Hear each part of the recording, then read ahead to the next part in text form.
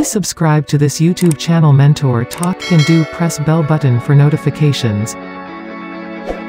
Recently, I would say just a couple of days back, the Indonesian police have charged four executives working at Indonesian recruitment agencies in connection with the alleged torturing to death of an Indonesian crew member found in a freezer, found in a freezer aboard a Chinese fishing vessel.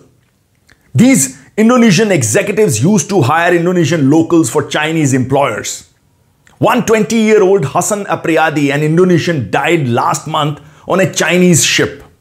Yes. A Chinese supervisor on the Lu Huang uh, Yuan Yu 118 uh, ship vessel has also been booked, charged in Apriadi's death and for assaulting another Indonesian crew member. Chinese fishing industry is riddled, is riddled with forced labor and, ex, and exploited workers face, you know, non-payment, overwork, violence and death time and again. Southeast Asia is a major source of such labor and crooked, you know, recruiters aim at the poor and illiterate with assurances of good wages prospects at the sea. The two Chinese boats were intercepted in the Malacca Strait, which you know divides, separates Indonesia and Malaysia. After authorities received information that a crew member had died aboard uh, one of the Chinese vessels.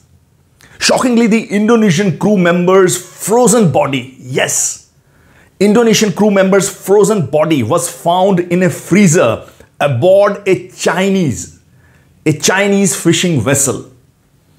He was killed by torture by the Chinese employer. Yes.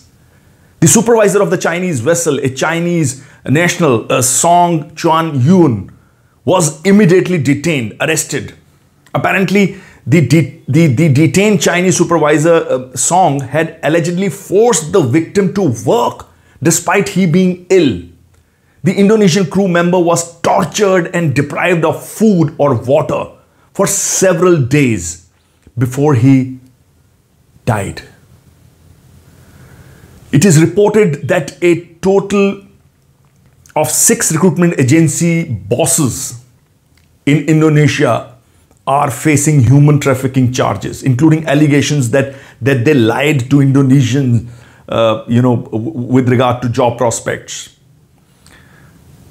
They have been misrepresented, these Indonesians, that they would be working as waiters or staff in retail stores in, in China, which was a false statement. This is really horrific.